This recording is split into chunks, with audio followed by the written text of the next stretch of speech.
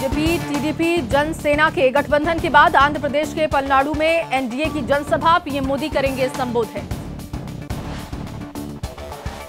कर्नाटक में कांग्रेस सरकार पर पीएम मोदी ने निशाना साधा। लूट में लिप्त होने का आरोप लगाया। कहा कोई सरकार ऐसे चल सकती है क्या? लोकसभा चुनाव की तारीखों का ऐलान। उन्नीस अप्रैल से 1 जून तक सात फ़ेज़ में होंगे लोकसभा चुनाव। 4 जून को आएँगे नतीजे। लोकसभा चुनाव की तारीख के ऐलान के बाद आज मोदी कैबिनेट की बैठक। आज सुबह पौने 11 बजे पीएम मोदी के आवास पर होगी मीटिंग। चुनाव आचार संहिता लगते ही यूपी में प्रशासन ने दिखाई सख्ती। गाजियाबाद में उतरवाए गए होर्डिंग और बैनर। कांग्रेस नेता राहुल गांधी ने कहा धारावी हिंदुस्तान के हुनर का कैपिटल। हिंदुस्तान में धारावी और अडानी के बीच लड़ाई। धारावी में बोली कांग्रेस नेता प्रियंका गांधी आज आप देश में जितने विज्ञापन देखते हैं उनमें सच्चाई नहीं दिखती।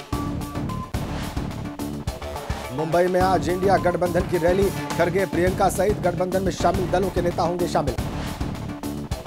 मुंबई में आज राहुल की मणि भवन से अगस्त क्रांति मैदान तक न्याय संकल्प पद यात्रा कांग्रेस नेता अशोक गहलोत ने कहा लोकसभा चुनाव के लिए हमारी तैयारी पूरी भारत जोड़ो न्याय यात्रा का बड़ा असर दिखेगा। महाराष्ट्र कांग्रेस अध्यक्ष नाना पटोले ने दावा किया चुनाव लड़ने के लिए बीजेपी ने दिए हमें बहुत सारे मुद्दे। सात चरणों में चुनाव कराए जाने पर कांग्रेस अध्यक्ष खड़गे ने उठाए सवाल कहा तीन चरण, चार चरणों में होने चाहिए। कांग्रेस नेता अधीर रंजन चौधरी ने वीपी न्यूज़ पर कहा कांग्रेस को मिलेगा जनता का आशीर्वाद। एसपी ने लोकसभा चुनाव के लिए छह और प्रत्याशियों का ऐलान किया। बिहार में बड़ा प्रशासनिक फेरबदल इकहत्तर डीएसपी का ट्रांसफ़र किया गया। आबकारी घोटाले मामले में राउंड रेवेन्यू कोर्ट में बीआरएस नेता की कविता को सात दिन की ईडी कस्टडी में भेजा। बिहार शिक्षक भर्ती परीक्षा पेपर लीक मामले में ईओयू की जाँच में खुलासा चौदह मार्च को लीक हो गया था पेपर। रामपुर के चर्चित डूंगरपुर केस में एसपी नेता आज़म खान दोषी करार। पूरे आईएसआईएस मॉड्यूल केस में एनआईए का बड़ा एक्शन प्रॉपर्टी जब्त की गई। यूपी पुलिस भर्ती पेपर लीक मामले में आरोपी शुभम मंडल गिरफ़्तार। उत्तराखंड के रुड़की में तेरह साल के बच्चे की हत्या करने वाला आरोपी गिरफ़्तार।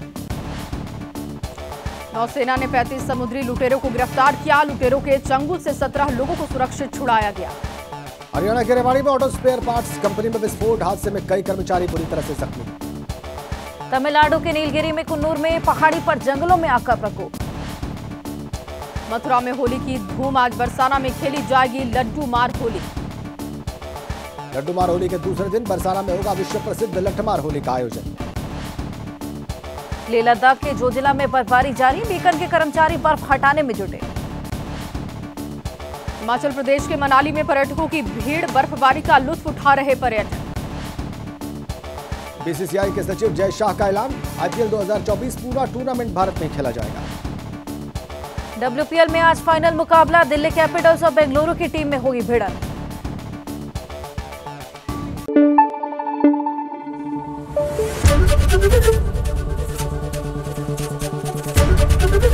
एबीपी न्यूज़ आपको रखे आगे।